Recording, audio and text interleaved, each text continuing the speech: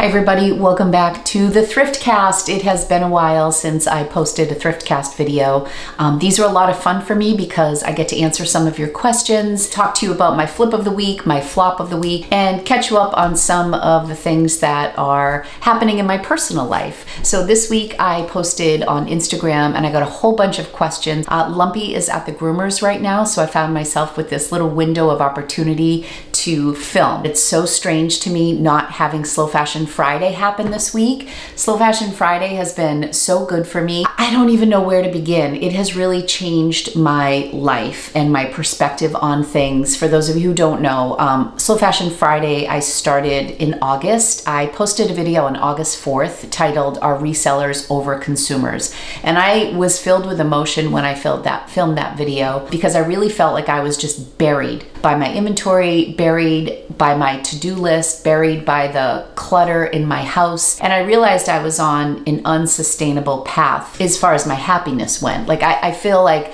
because I have a YouTube channel and I do love thrifting and it is my business, I could justify any purchase. I would thrift more than I needed to, I would buy more than I needed to, and even with Tina, who is my assistant, I feel like we were just maintaining. Like we had caught up on a lot of our death pile things, but I was never really getting ahead. About four or five years ago now, I started Thriftless February. So in Thriftless February, I would set a goal for myself where I would work on stuff that needed to be done in my business. Death piles, delisting and relisting items, maybe sprucing up some titles, all the back of house stuff that's not really fun with reselling.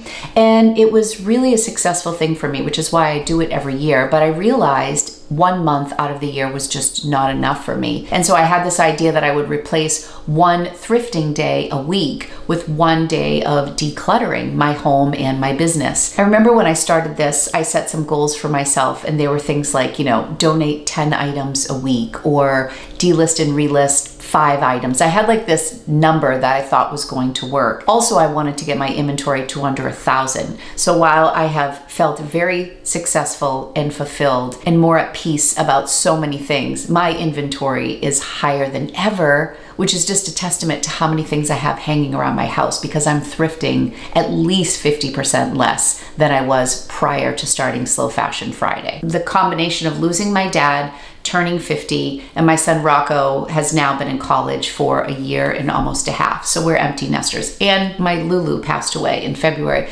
It was bad. So I really felt like I needed something to change in order to move forward and heal. And letting go of some of my stuff was a way to do that. I don't want to rehash everything because I talked about it at length in that video. This would have been week 13. I took this week off and it feels very strange to not be, you know, tackling some project and filming and editing on this Friday. I had a lot of time this week to go for walks and journal and just, it's been a really peaceful week for me. I'm enjoying the space I'm in so much more um, and realizing just how little I need and looking at the things that actually make me happy. So thank you to everyone who's been on this journey with me. I think I'll probably touch on more of this later in the Thriftcast, but let's just get started with the flip of the week. This sale may have come in um, like maybe two weeks ago, but it's my best sale in a while because sales have been slower. It's been much more of a hustle and a grind these past few months. But I sold this beautiful tunic from a brand I had never heard of. I'm going to mispronounce this. Zang Toi. Z-A-N-G-T-O-I. I found this beautiful tunic at a designer thrift store that is no longer in business. They they closed this one branch. It was like an outlet for a consignment store and I went twice. And this is the store that I went in and everything was $5 and everything was designer. I was like a kid in a candy shop. If I could go back to one thrifting situation, it would be that. But the store has since closed. I picked this up not knowing the brand. It was this royal blue silk tunic and it was just gorgeous. It is a very niche designer brand. I think I had it put aside to send to the Real Real because I didn't think it was something that would sell for very much money for me or I figured it would sit for a long time. So this was something when we cleaned out the basement and we were going through Tina's table area and just all the clutter in the basement, I had a bin of things slated to send to the Real Real, which I don't really use the Real Real anymore. I might revisit it, but I just feel like the payouts were so low and I wasn't creating time to consistently send things to them and get to know their structure, which has changed quite a bit. So we decided to either donate some of these items or list them. It probably sold in a month or two, but I got a $153 offer and I quickly accepted that. Um, the buyer paid $7.99 for shipping. That was one of the biggest sales I've had in a while, and I was really happy about that because it was such a low cost of goods. The actual largest sale that I've had is on a fountain pen that I bought myself. I literally broke even on it, but it was a limited edition collaboration between two fountain pen companies, Esterbrook and Ferris Wheel Press. It was a first time collaboration between these two. It was just a little too bright for me. I think I paid 365 for it. It sold for $400, but that was no profit. Sometimes the highest priced items, depending on what you pay for, they may not be your most profitable flip, but that was the highest price, but um, I barely broke even on that one. Okay, now for the flop of the week, and this one's a doozy.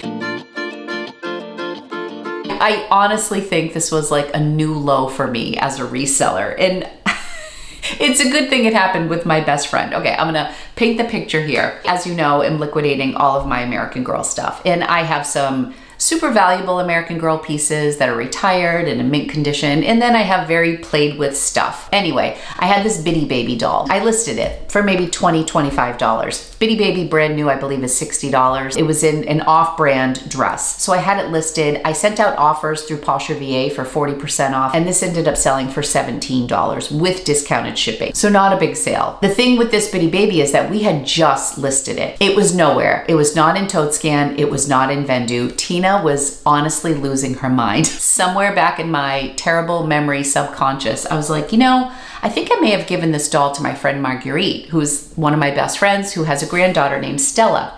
I go, I don't know what makes me think it, but the only thing I could think of is that I gave this to Marguerite and then I deleted it, deleted the listing from Vendoo. It didn't exist anywhere. So after hours of franticness, I texted Marguerite. I'm like, Marguerite, did I give you a bitty baby doll for Stella and some stuff because we can't find it anywhere?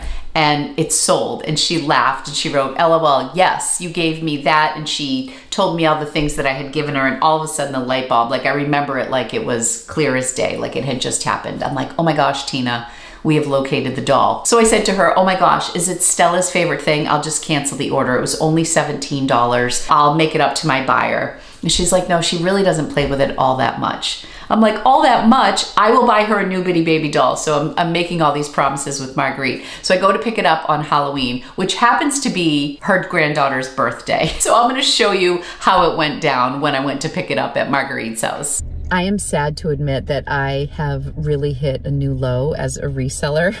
And it's kind of funny, but it's true. And, and this is this is about as low as it gets. So I'm at my girlfriend Marguerite's house. I think I need everything, the pink dress and everything. I literally gave her an American Girl doll for her granddaughter. And I thought I delisted it and I deleted it from Vendoo, but I didn't actually delist it. And of course it's sold. So now I'm here to take a bitty baby doll away from a two-year-old. I've, I've literally hit a new low. Is this who you're looking for? Oh wait, oh, she can keep the pink, she can keep that outfit. Oh, let's see what you're taking away from my two-year-old daughter, my granddaughter, on her birthday. Today's Stella's second birthday. I'm coming back with toys. Here's the doll. All right, I just need... I basket, need, shoes. Nope, I just need, oh, now it's all coming back to me. Giving you this. Okay, I just need this dress okay. and this doll. This isn't my granddaughter, but say goodbye to the doll, Ivy. I'll give her a little hug. Oh, you're breaking my heart. She's gonna go home to Lori and then Lori's gonna send it to another family. we have secured the doll. and Marguerite, that, to really add insult to the fact that I'm taking this on your granddaughter's birthday is she sold for $17. I would have paid you 30 This is when you know you have a really excellent friend. It was actually comical, the hoops that I jumped through for this $17 with discounted shipping sale. I actually um, magic erased her head. She had a few scuffs, so she actually looked better than the pictures showed her. I sent her off in her outfit that she was sold in. I am currently finding the perfect doll in my 100 plus doll collection for Marguerite's granddaughter. So not only did I take a doll away from a baby, a two year old, but I took it away on her second birthday. So yes, this was a new low for me as a reseller. And Tina and I always say, if we could just have like a cam on us with some of the things that we say or the comments people make. Enough of that because that was quite a flop. Let's go to some Q&A. Thank God Marguerite is such a good sport. Sandra Z asked, what is your best thrift find? I've talked about this before and I wanna mention it because it has to do with my friend Marguerite. Marguerite and I were shopping at Savers. She walked around the corner and she had hanging over her head, you know, you can take the hanger and put it over you so like the dress is in front of you. She walked over and she's like, what do you think of this dress on me? And it was a Gunne Sax dress mint, mint, beautiful condition, like a crispy, crispy tag, like it had never been used, and it was $4.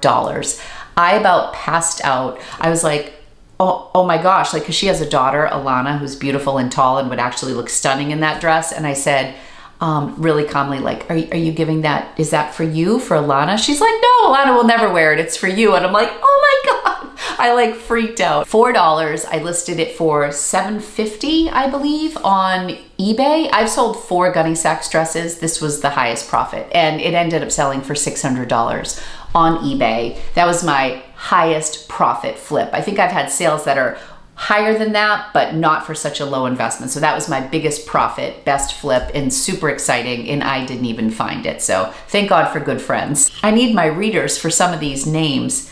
Linda Camps, Fitness for Health, asks, how much does Lumpy weigh? I would say Lumpy is about 18 to 20 pounds right now. He's nine months old today. Is it November 3rd? He's nine months old today. He was born on February 3rd. So they say they're full grown by about nine months. Is that true? He's a cockapoo. He'll probably have a one year checkup. He also has to be neutered. Um, we're probably gonna do that at about one year. So we'll probably get uh, weight on him then. He is a little nugget. I love him so much. People ask me often, like, what breed is he? He's Cocker Spaniel and Poodle, as were Lucky and Lulu, but he definitely looks more Cocker Spaniel, acts more Cocker Spaniel. He's a nut. Somebody also asked where I got him. I got him at a place in Leominster, Mass. Ricochet Kitty asked, do you find that certain sizes sell better? Most of my answers are unscientific. If you if you know me, you know that. But I would say definitely larger sizes sell better for me. Although, as far as jeans go, jeans are a little bit more measurable for me visually, which I'm kind of a visual learner because we put our jeans in bins according to size. It's the only category that we inventory according to size because so many jeans look the same. We just put them according to size.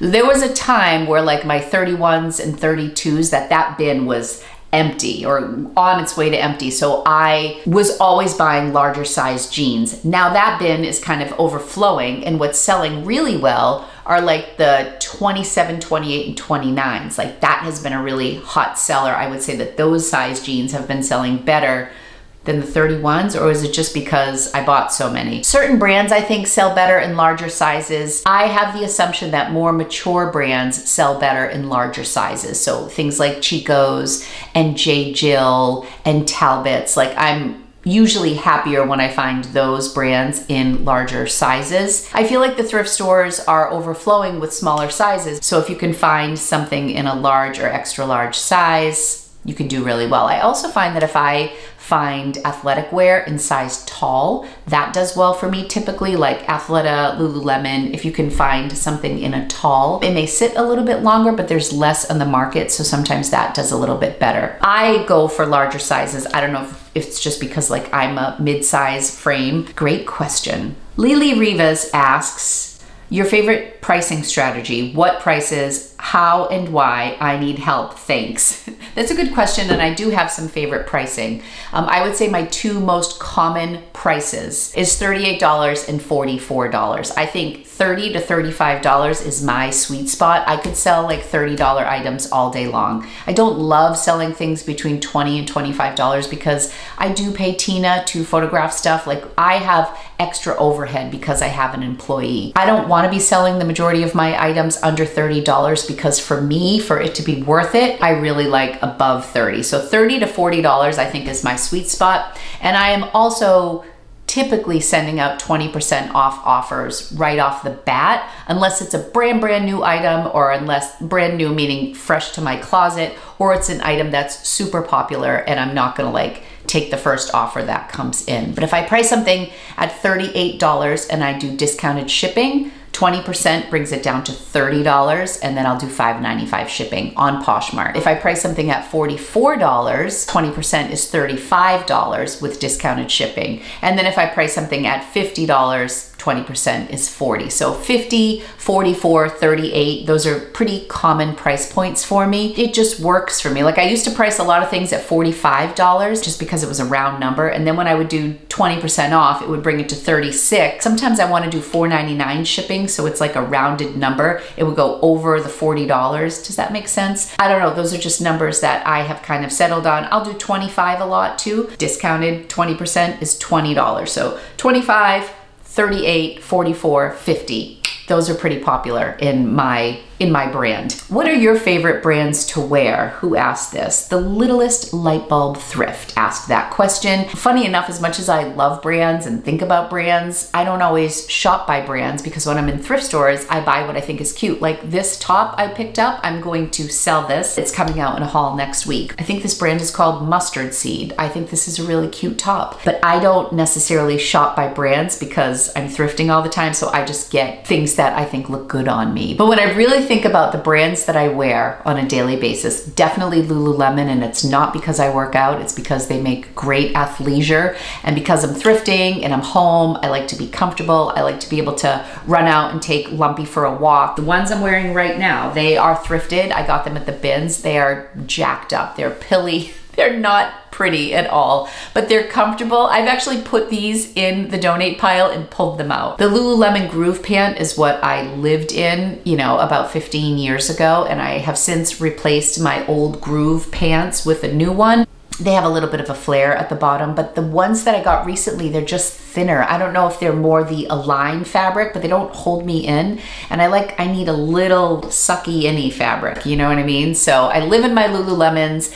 My shirts vary. I'm more of a category shopper than I am a brand shopper. Like you all know, I love in the summer, I love all of my kimono style and caftans. My uniform is usually a tank top, leggings, and then a caftan or a tank top, jeans, and a cardigan sweater. Like I love that little cover up. I wear all sorts of cardigan sweaters. I wear all sorts of um, caftans in the summer and there's usually like a base layer that has a little compression to hold me in. That's my uniform. Oh, and I did also say that I love my New Balance 327 sneakers. I find when I wake up in the morning, if I put my sneakers on my feet, I am hands down more productive in my day. I am more likely to walk further with Lumpy than if I'm just sliding on like my Birkenstocks. I'll get more steps in and I love the look of my New Balance 327s. I have them on right now. There they are with my black socks. Such a fashionista. I'm probably gonna get a new pair for Christmas because these are getting like a little beat up.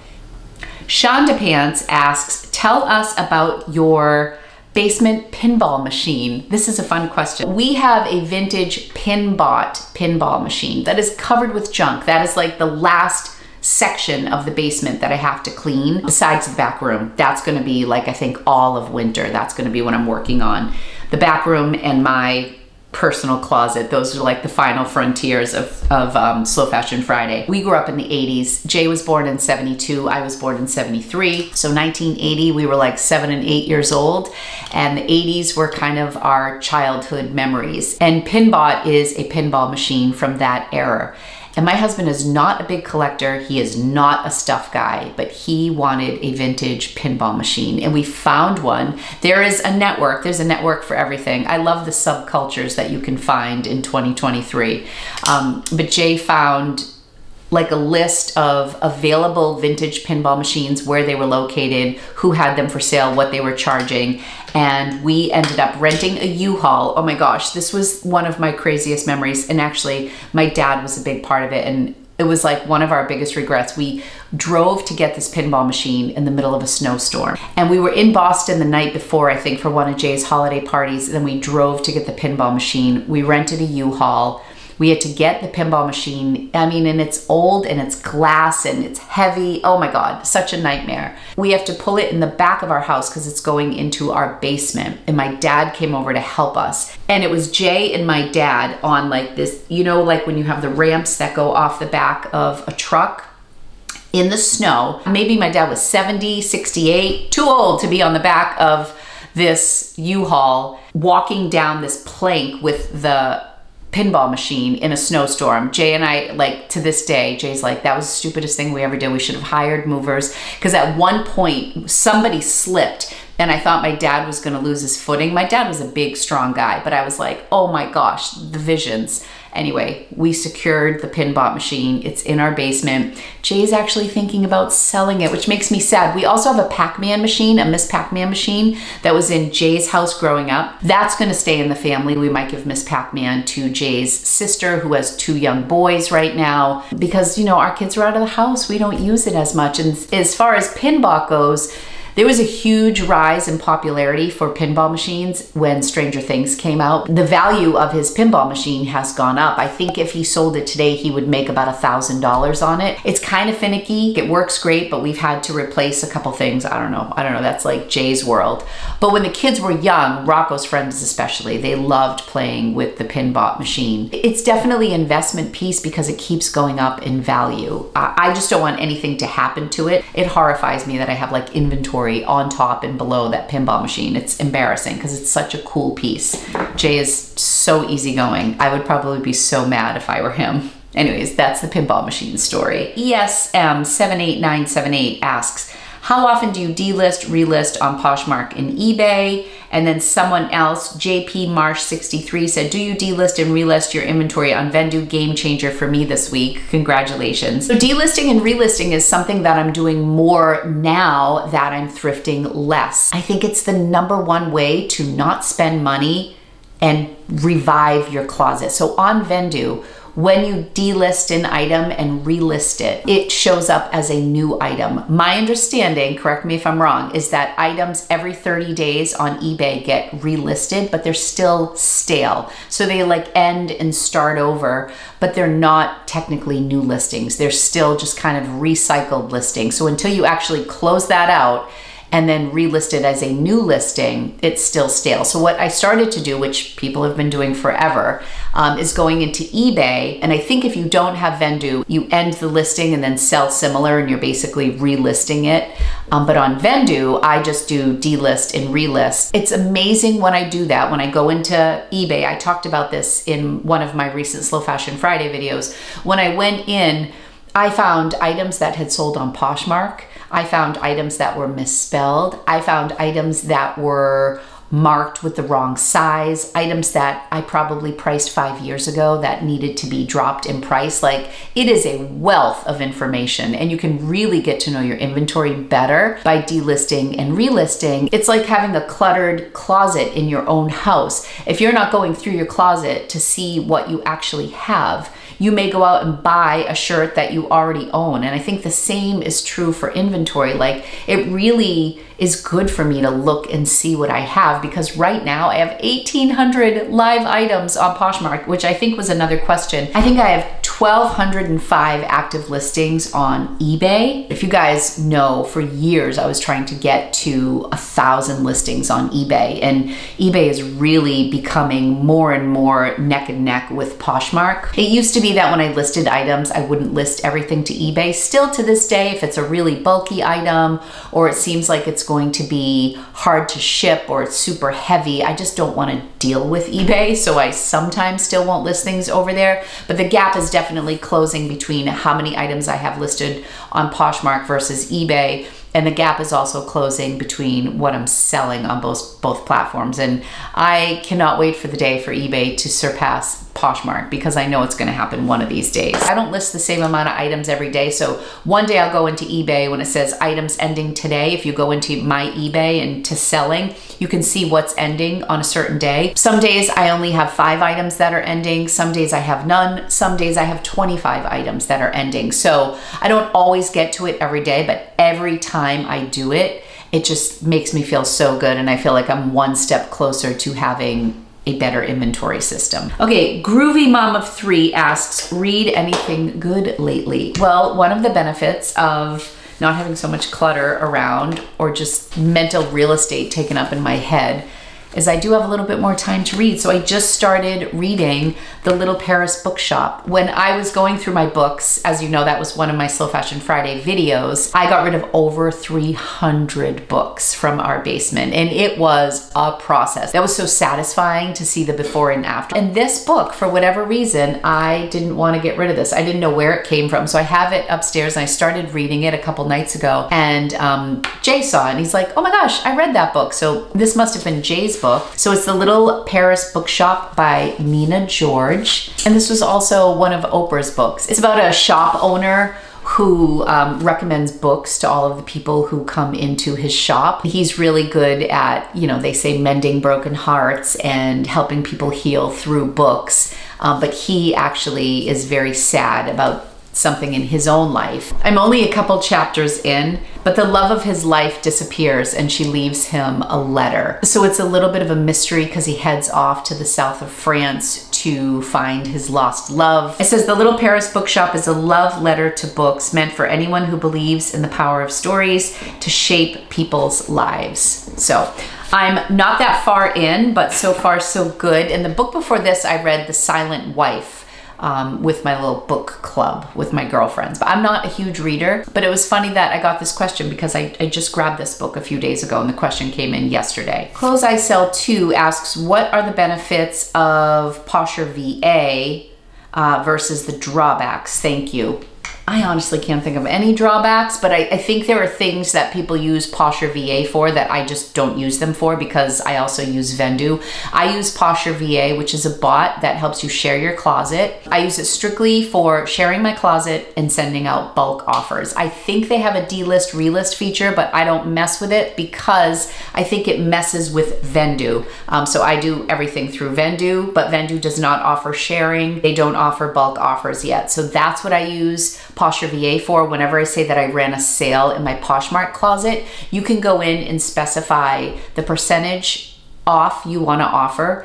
You can specify if you want to include new with tag items or exclude them. And you can specify, and this is one of the things I love the most, is how old the inventory is that you're sending the offers out on. So oftentimes I like to do 40% off. I'll do 50% off too, but I usually start with 40%. And then I'll say anything that's over X amount of days, depending on how generous I'm feeling. Usually I'll do 100 days. I don't mind holding on to things for a while, but I think by three months, you know, I'm sure I've already sent 20, 30% off offers if nobody's bit on those. I can offer the 40%, and then every once in a while, I'll do 50% off. I often do exclude new with tag items because sometimes my new with tag items, I've purchased retail arbitrage and I don't want to lose money on those things. So it's really great, and I'll offer like maybe two sales a month, sometimes three, sometimes one. I'm not very systematic about things, but you can see what a spike it is in my business, and I feel like if I didn't run those sales in, on Poshmark through Posher VA, I think that things would be really flat. I have never run a sale in eBay. I'm just generally more uncomfortable with eBay, so I keep it very minimal over there. Maybe over time, as that becomes more and more of a presence in my business, I will tinker with that a little bit, but I don't send coupons over there. I don't run sales over there. And it, it's just because it's like fear of the unknown. I do have a lot of balls in the air and I just have to pick and choose what I'm like a pro at and I'm not a pro at eBay. Trisha Marie 1 asks, has Poshmark been slower than usual for you this September, October? Absolutely yes, 100% yes. I've been listing more and my sales have not really matched my effort. For me, I don't know if it's because I'm listing so much American Girl stuff or I'm listing stuff around my house So maybe the items I'm listing aren't as desirable, which is why I need to keep thrifting and finding new things, even though I'm also working on, you know, not having so much stuff. I still have to thrift. I'm just trying to thrift better, but definitely slower for me. Rumster Posh asks, how many hours do you spend on average thrifting now versus overall time spent on business? Um, I had to write this down because I felt like I could have gone off for like 20 minutes on this question. This is my general breakdown. And since I got this question, I really want to start tracking it. I mean, I am big into journaling and writing and planning, and I think this would be really helpful information for me to just actually realize how much time I spend working in a week. I will say that the days that Tina is here, I tend to work very long days, like super productive, because I want to make the most of the time spent while Tina is here. So, for an example, when Tina comes on a Monday, she's usually here on Mondays, I will try to print all the labels from weekend sales before she gets here because she likes to do shipping. Sometimes I'll pull items before she gets here if I have time. Sometimes I will just print labels and then we'll pull some together or she'll pull them and I'll get packaging ready or whatever, some combination of that. There are also days, if it's not a big shipping day, that she's gonna come and she's gonna photograph things from a recent haul video. So there are many days where I'll wake up, shower, put makeup on, and I will film a haul before Tina gets here at 9.30. So that's like an hour or two before she even gets here. Then she's here for six hours. Mostly I edit when Tina's here because it's a time that I know I have someone in the house, so I'm gonna sit and focus and edit as opposed to being tempted to not sit and edit when nobody's here. So I'll often edit a video. I usually put videos out on either a Monday or Tuesday and Slow Fashion Friday. That's kind of been my rhythm these days. And then when Tina leaves, if I have a video that's going live, which I typically do on a Monday or a Tuesday, I'll spend an additional three or four hours editing and then the video will go live. And she's usually here two days a week. So two days a week, I would say I put in most of my hours for the entire week when Tina's here. So I may work like 10 to 12 hour days when Tina's here. And again, I work from home. So there's walks down the street, there's lunch breaks, there's scrolling on Instagram, there's journaling. Like, so it's not like nose to the grindstone for 12 hours in a day, but I put in longer days on the days that Tina's here. I'll probably thrift like four to six hours a week. Sometimes I'll thrift once a week, sometimes twice, sometimes no time if I've thrifted three times the week before. I'm trying to stagger my thrift videos rather than put them all out at once. It's just helping me plan a little better. If I go to the bins with Kim, which I typically do like once every three weeks, maybe once a month, that's more of a commitment. We'll leave my house at like eight or nine and I won't get back until two. Um, so that's more like just a four hour thrift trip just while we're there, but it's also an hour and a half in the car of driving. So those days are a little bit longer. When I go to my local Savers, I can usually hit Savers and be back within three hours, like 15 minutes there, two hours in store, maybe two and a half, 15 minute back, 15 minutes back. Filming is four to six hours too. And then I said, or up to eight to 10 hours because I also have a second channel. I've been trying to do at least one video a week on time with Tata. So filming takes about two hours depending because like I'll have to set up the camera and then like shooting right now I'm looking I'm at 52 minutes this is going to be a very long video not all of my videos are this long and then when I do thrift with me's I take all of the photos and videos from my phone and I get it all set in the queue on iMovie to get ready to edit. So filming's like four to six hours a week. And sometimes when Lumpy's here, I just have a ton of interruptions, so it takes longer. Editing takes a long time for me. Um, because my videos tend to be longer, I try to go in there and cut out my ums and my ands because every little bit helps. I'm not one of these 15 minute video people. I wish I was. I would, it would be so much easier for me if I didn't have such long videos because it does take a lot of time to edit my videos. So I would say I, I spend about 10 to 15 hours a week editing. Shipping about four to six hours. When Tina's here, she does a lot of it, but she's only here twice a week. So that means there are four or five other days that I'm shipping between pulling stuff,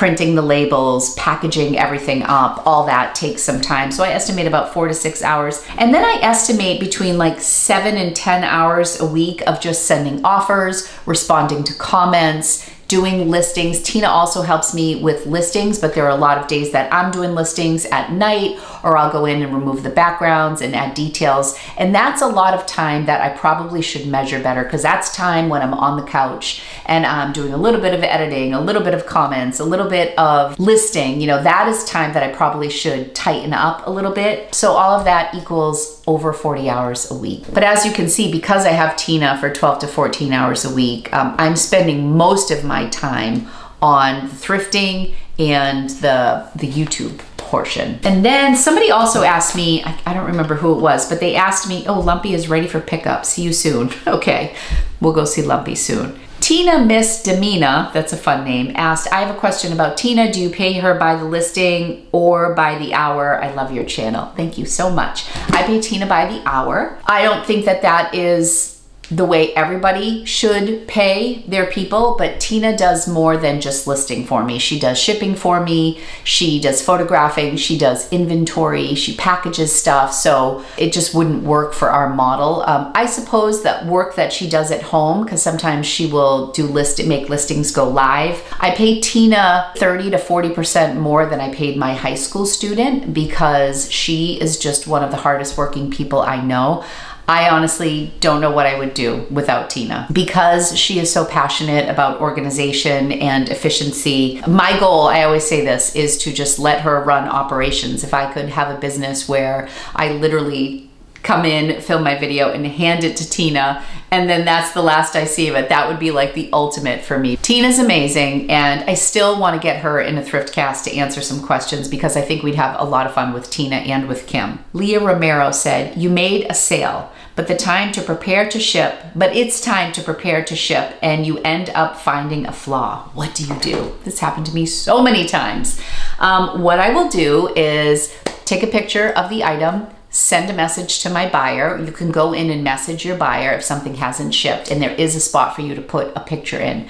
So I will say, Hi, Susie. I am so sorry. I was just packaging this up and I noticed that there's a flaw that we missed and it was not disclosed in the listing. And I'll give them the option to cancel. If it's a really big flaw, they'll probably cancel. I remember there were a pair of Birkenstocks that I think the cork was um, separating and I didn't realize it and I was freaking out because it was it was a decent sale and I messaged my buyer I think this is the way it went. And they said, um, oh gosh, no worries. I'm having them resold. I just wanted them for the leather. And I was like, oh, okay. Like she's like, they're coming apart anyways. And I couldn't believe that. So that was, that was great. Just be honest. That's the best thing you can do. I've oftentimes had people say, thank you so much for taking time to look things over before you ship them out. So I think people do appreciate it. One of the things I commonly do if I make a mistake and my buyer decides to keep it is I'll say, is there something else you would like for $20 or less that I can include in the order with them and then I can just delete the listing? Or I'll say, please accept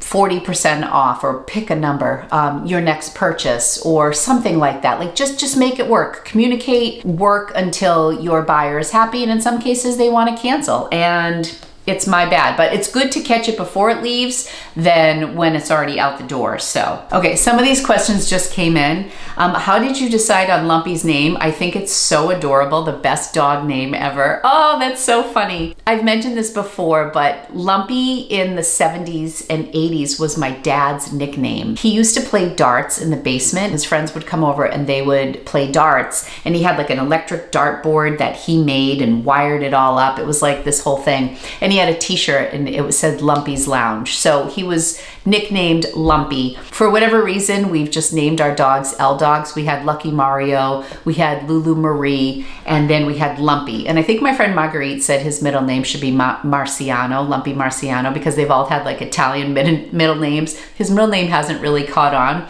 but we got the name because of my dad. And when my dad was really sick, I told him that we were gonna name our puppy Lumpy. And I was able to show my dad pictures. And that was one of the things I wanted to do was bring my dad to meet the puppy. All these questions get to me sometimes, you know? my mom's like, I just want to have one day where I don't cry. She's like, just one day.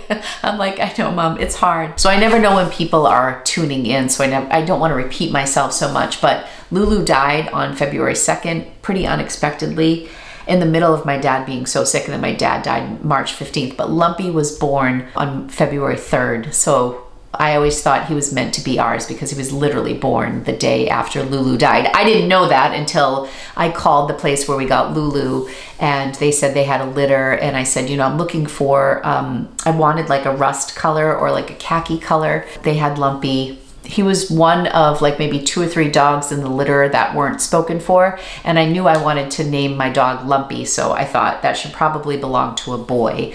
And there was oh, it was lumpy and like one other girl and i think the girl was like buff or black or something like that so lumpy lumpy was the one. So he was named after my dad. I remember someone said why would you name a beautiful little puppy such a weird thing lumpy? And if you knew him it's like it so suits him. At first i was like do i really want to name my dog dog Lumpy, but it made my dad smile, and it is such a perfect name for that little monkey. Um, I'm excited to see him. This was Lumpy on Halloween, by the way. He's obsessed with lamb chop, so I got him a lamb chop costume at Target. He, it didn't last very long, but this one cracks me up, this picture, because it looks like he's walking. Oh my gosh, so funny. He's a nut. So that question just came in and made me cry. And there's one other one that I know is gonna make me sad. Okay, Mother Knows Best Vintage on the heels of this. I follow this account and I know that this wonderful woman is, is a caregiver right now for her dad. And her question says, how do you balance being a wife, mom, reseller, YouTuber while also dealing with grief? Um, that is a really good question. And for me, staying busy really helped me. I remember like almost feeling guilty going thrifting or posting videos when my dad was really sick, but this is what keeps me going. Like life moves on and you have to move forward or you'll just be stuck. That's at least that's how I felt. So just just keep swimming like Dory. So I think one of the things is just going with whatever you're feeling. Like there were days where I didn't want to film and there were days when I absolutely had to film to keep my mind off things. But I think that staying busy really helped me and the, the way that I am able to do everything that I do is that I have incredible people around me that help me. I have Tina. I don't know how I got so lucky. She actually called me because we worked together at American Girl for almost eight years. Um, so that has been a really wonderful fit. Um, and also, my husband's really helpful. I think having help has always been key for me. When my kids were little, my mom helped out a lot. I think one of the ways I'm able to do all this now too is that my kids aren't home. There's no way I could keep the schedule that I keep now with filming and thrifting and YouTube and all that stuff if my kids were little. I don't know how like young moms do it. Like Amber Resells is a YouTuber, eBay, and an actuary. She also has another job and a mom um, to little Renna and Mogi Beth has a young girl and I, I and she just found out she's pregnant. Like I don't know how people in the community do it with young kids. So I think that I just have the gift of a little extra time. But I think as far as the grief goes, I think for me, um, take the time when you need it and work when you need to. Can only speak for myself. I, I have the most incredible support system. I have really, really good girlfriends. I have great family. I have a great job. I have a great community here. You guys actually helped me so much. So many text messages from people and just people checking in. I was amazed at my friends who are so thoughtful. And I remember thinking, I remember wanting to apologize to people when they went through the loss of a parent or loved one, that I felt like I wasn't there for them as much. And all I, all I can think of now is you just don't know until you go through it. It's like having kids. Like nobody can explain to you what it's like to have children until you actually have kids and you haven't slept in days and just your whole world changes. But it's similar to that. Like it, until you go through it, it's hard to know. And grief is different for everybody. But for me, my support system was really important, and the fact that I had a job that I really loved, and this could actually be a distraction for me. Um, and I tried to work my job into some of the caregiving. Like, I remember that's when I bought my first backpack that I used all the time because I would bring it to Dana Farber because my mom wasn't comfortable driving in the city. So in the beginning, I was driving my dad in and I would just bring my laptop and work while he went in for a treatment or PET scan or something like that. There was a fair amount of juggling, but anyway, I hope that helps. That that's a great question and I'm thinking of you and I hope I hope everything's going okay for you. I know caregiving, and I wasn't the main caregiver. My mom was. She had the, the most of it on her. Butterfly Emporium asks, What is your favorite thing about Lumpy? I love all the Lumpy questions. Oh my gosh. Um, he's really funny. I think he's like a bull in a china shop. Jay always says he's coming in hot because like when he loves, he is like, he's not at all like it, Lulu Marie was so dainty. She was such a girl.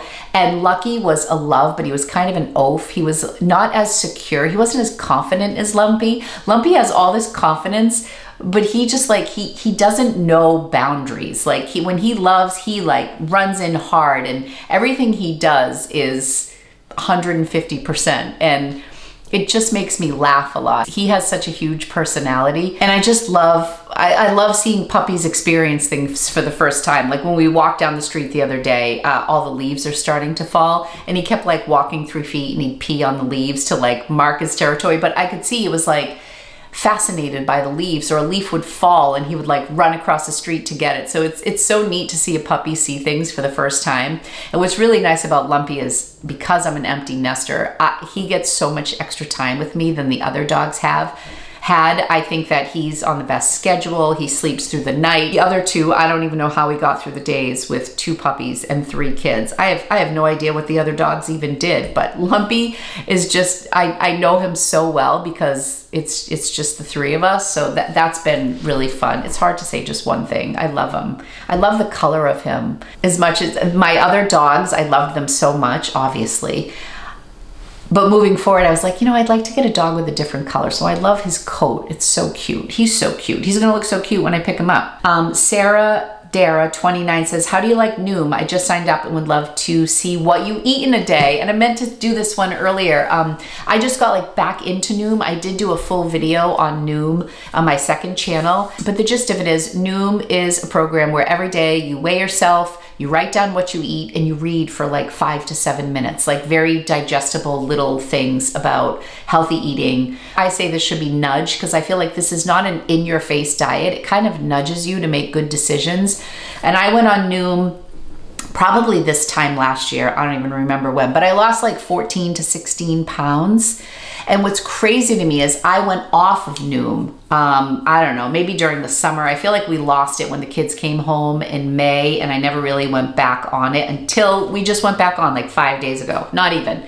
But I'm in the zone right now, so this question was good timing. But the crazy thing for me is I only gained about four, maybe five pounds back in like seven months time. And I have never done that before. I've lost over 25 to 30 pounds on Weight Watchers. I've had real success with different programs, but never have I gone off the diet where I wasn't recording stuff, where I maintained anything. I always gained it back and usually then some. So I had only gained about five pounds back of the I don't, what did I actually lose? I'm trying to think of what my lowest was. I think I lost 16 pounds in total. And when I stepped on the scale the other day, I was up about five pounds from the lowest. So I, I've, I kept 12 pounds off, which is crazy to me. And I think it's just because it helps you shift your way of thinking and you never feel guilty about food. No food is off limits. It's not a hardcore diet. It's just like, you have to stay in it. Like writing things down is really helpful for me. Weighing myself every day is really helpful. And I know people think it's not good. For me, it's really, really helpful. It just keeps me honest and reading a little bit just keeps it on your mind. It's not anything crazy, it's just scientific information that they're sharing with you and strategies to help you be successful. What I eat in a day varies every day, but there are some basics that I eat during the day. My dinner is what's the most different every day. But if I'm in the zone with Noom, I'm eating a lot of hard boiled eggs that I love to pickle. I love to put my hard boiled eggs in vinegar. It may sound weird to you, but I love it. I love salty things, so I love doing that. Um, I also get these chomps. They're like Slim Jims, for lack of a better word. they're, but they're free range turkey. They're 60 calories. So those are a great snack on the go. I live near like three apple orchards in my town. So literally an apple a day. I sometimes two, and I like to cut my apples up. That helps me stay on track. I eat the Chobani um, zero sugar yogurt and one of my favorite things to do and it's super filling is I will take the yogurt and I will also do some oatmeal and um, sometimes I'll cook my own oatmeal, just quick oats. Uh, recently, Pumpkin spice oatmeal was 99 cents at my grocery store. I think they were liquidating all of their pumpkin stuff. So about two boxes and it's 160 calories. A lot of sugar, not the best for me, but it's 160 calories and then my yogurt is 60 calories. And then I take frozen cherries and I do about three quarters of a cup of the frozen cherries with the 60 calorie yogurt. And then I put the oatmeal on top and it's so filling. And you have green food, yellow food, and orange food. Green is basically eat as much as you want. Yellow is eat in moderation. And the, the orange food is like you know, if I have a if I had a Kit Kat bar on Halloween or something like that. It's your oils and your fats and your, you know, the stuff you're supposed to use sparingly. Not the pumpkin spice, but regular oatmeal and cherries and yogurt are all green items. So I will eat those almost every day. Sometimes I'll have that for lunch, sometimes I'll have it for dinner, sometimes I'll have it for breakfast. But those are the things that keep me on track. There's also a Noom chili recipe that is so simple. Actually, I'm going to do a reel about it because I just made it last night. It's two cans of Hormel chili, which sounds so gross, but we get the vegetarian one. I never thought I would eat Hormel chili because I make my own chili, but it's two cans, two cans of Rotel, and then three peppers. We do a green, an orange, and a yellow and an onion and it's big and bulky and so good and it's a ton of vegetables and it's like a green food so we'll try to make that chili once a week. Um, but I basically eat those things during the day. We do Dave's Killer Bread 70 calories veggies pickles that sort of things. So that those are the foods that I eat mostly during the day and then my dinner you know sometimes I'll have a glass of wine we'll go out. Jay is much more um, rigid and he loses weight much faster than I do, but I really love Noom. So, and I think I do have a discount code. If I find it, I'll put it in the, um, in the description. Okay, last question. Do you itemize your cost of goods? How do you bookkeep? Um, I do itemize my cost of goods. I find that even if I go on a shopping trip and my average cost of goods is like, say, six or seven dollars, I do like to itemize them as best I can because Sometimes I will buy something and maybe I'm spending $9 on it in store. And if that doesn't sell for a good profit, I don't want to think of it as something that costs $6 or $5 if that was my average cost of goods. I want to know that that particular item cost whatever it did cost. A lot of people don't do it this way. I don't think there's a right or a wrong way. I personally like to itemize my cost of goods, but it's not a perfect science. Okay, I promise that was going to be a quick one. That is all for today. Thank you for watching. Thank you for your questions. That was really fun, and I'll be back next week with another Slow Fashion Friday video. If you liked today's video, be sure to like and subscribe. I will see you soon. Um, I have a great haul for you coming up next. And yeah, I'll be back next week with Slow Fashion Friday, and I'll try to get Thriftcast in again before uh, Thanksgiving or before Christmas. All right, thanks everybody. Love you. Bye. Get your hair cut today. I love when I can see your handsome eyes. Oh, you want to go see your meme? Are you so excited to see meme?